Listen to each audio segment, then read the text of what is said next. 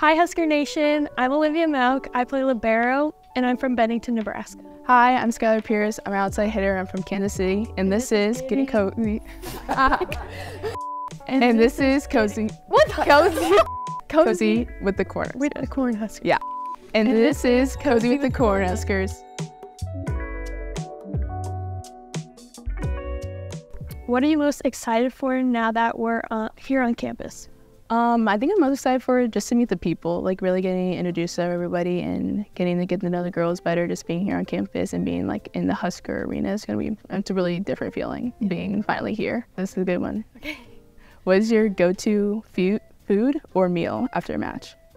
Oh, I'd say I like pasta, like any kind of pasta, and definitely chocolate milk because it's a big one. And I do like that. Aside from the Bob, where is a place you would want to play a volleyball match? Um, definitely Memorial Stadium. That we came to this game last year, and it was so much fun just being here in the stadium and seeing it for the first time. So definitely, if we got an opportunity to play it, I think it would be so cool. Yeah. Especially with 92,000 fans right. cheering you on would be crazy. Yeah. What is your biggest volleyball ick? Um, definitely short socks. I just I'm not a big fan of short socks. Yeah. Yeah. I had a yeah. same. Yeah. Mm. Okay, so like, what was your process early re- enrolling for this season?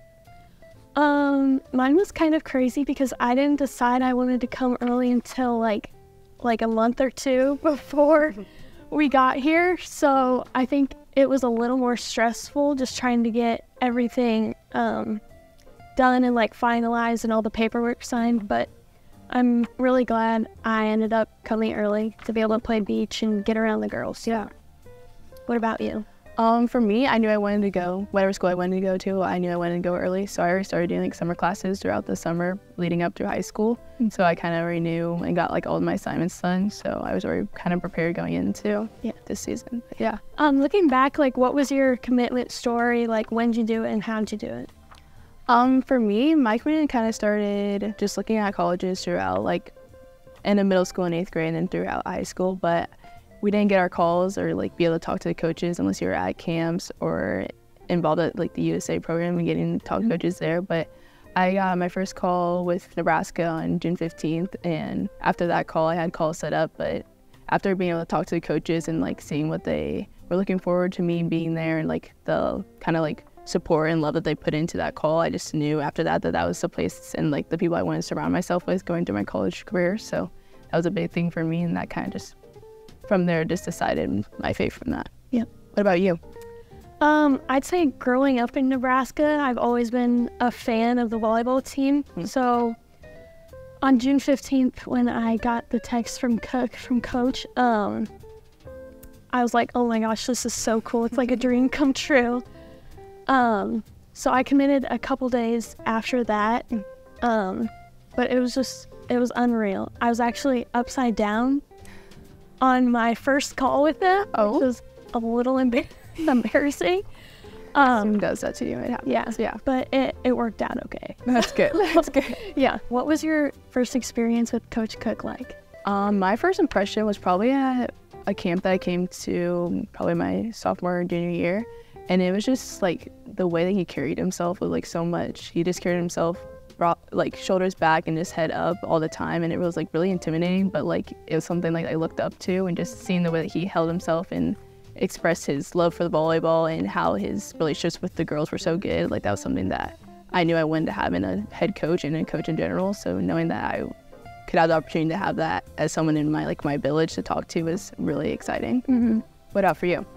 Um, I'd say I first interacted definitely at a camp. Mm-hmm. Um, and then, yeah, just like on our call, he just seemed so like welcoming and like the fact that he kind of like wanted us to come here so bad just like made me feel good. Yeah. Having like him have faith in us that we were good enough to come here just meant a lot. So. Yeah. Okay, so like, what was volleyball day like to you? I know it was your birthday, so like, and you came and celebrated it here. So what yeah. was that like? Um, it was definitely so special, just being able to see the fan base and how much they support Nebraska volleyball. I think it's such a cool thing that we're going to be a part of this year. Um, they always bring so much energy and stuff. So yeah, I'm super excited for that. Um, for me, it was really emotional just seeing Nebraska volleyball kind of being like the forefront for women's sports and like taking that big step to help women's sports, not just volleyball, but all women's sports, and being like that first step toward people really watching volleyball and being like that big arena for everybody to be big fans. People who don't even watch volleyball ended up watching it. So just knowing that we get to be a part of that coming up this season and being part of a team that was that forefront is really exciting. And having these coaches that have these big dreams and goals for us is just something to really look forward to. Yeah, I agree. Oh yeah, I turned it. Yeah, not. I mean, It's just you were playing up, Yeah. so it's like we never right. only interactions were probably like after we both Yeah. committed, and then I was like, oh, Yeah. Because I don't think I ever thought knew that you were like our age until Yeah, a lot of we. people did. Yeah, a lot of people did not know. Okay, well, I'll ask you the question first. Let me know when you're good. Okay, I got it. I got the okay. Well, Yeah. so. I know this one's tough, but what's one reason why you chose Nebraska? Um, there's like a bajillion reasons why I would choose why I chose to come here, but one, probably the main one is uh, to stay close to home. So like all my family could come and watch. That was a big part of coming here. Yeah. Obviously, they're they're really good at volleyball, so that was a part too. But mostly the close to home Mhm. part. Family's important. Yep. What about you? Um, for me, same. There's just so many reasons, but I, I wanted my family to be there and be able to come whenever they need to.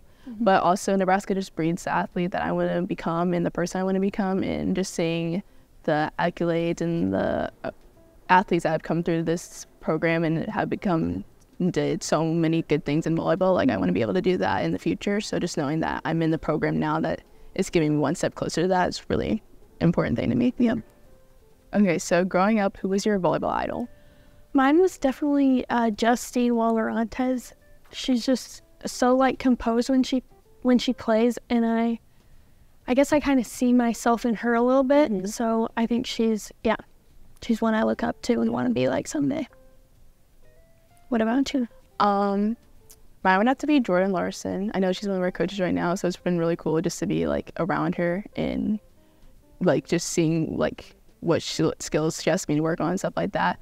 But just watching her throughout like her career, either at Nebraska or like on the Olympic stage, just seeing how she carries herself and the way that she carries the team has been like a big leader on both sides of the ball. It's like really inspiring and like something I definitely want to be able to do in the future. Yep. Okay, one time I I kicked it, so I'll say that. Yeah, it like came right at my feet, and I kicked it up. Did it go over or did it just I I got it up, and then somebody hit it over. did you score the point? Yeah, we did. Oh wow, I know it's It was pretty cool. I bet. I don't know. I like. Have you ever watched that? Yeah, it's so funny. Is that your favorite movie? yes. Really? yeah. Love that. I was not expecting that. Princess and the Frog, all the way. Ooh. Oh, Or can it be like Disney Channel? sure. Okay, well, I gotta think. I was really big into like um, Wizards of Waverly Place. That's a good one. I just rewatched that. Really. Yeah. I loved Shake It Up Chicago. That was a go-to. Mm-hmm. and Hannah Zendaya. Montana. Zendaya. Oh my gosh. Yeah. Thanks for joining us on Getting Cozy with the Cornhuskers. We can't wait for beach season to start. Just yeah, I forgot. no, I beach season to start. Join us for We can't wait. Thanks for listening to us on Cozy with the Cornhuskers. We are really excited for our beach season to start. Go Big Red. Nailed it. Yes, so good. I should have had my little bear on my lap. I know. But I- You guys-